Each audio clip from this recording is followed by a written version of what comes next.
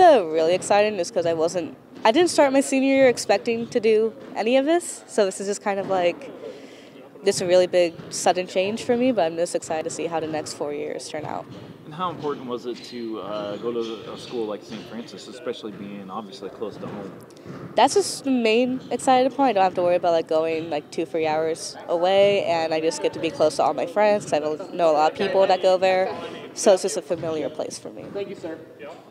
Coach Allison talked about the dedication that it takes to be a student athlete at college. I mean, talk about the work you've put in to, to get to this point to, to be able to, to throw in college.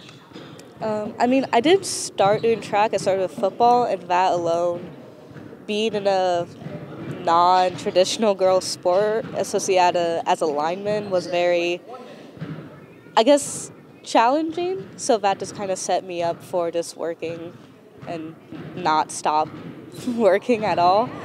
And that just kind of set me up for success with, uh, with now going to St. Francis. Uh, what are you going to study when you're there at St. Francis? Uh, education. Your time here on the, with, with the track program, how's that prepared you?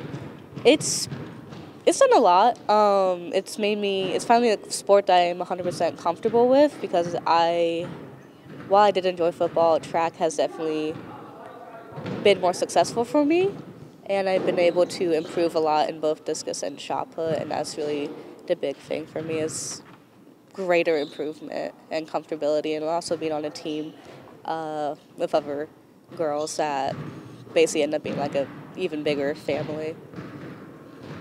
Perfect. Awesome.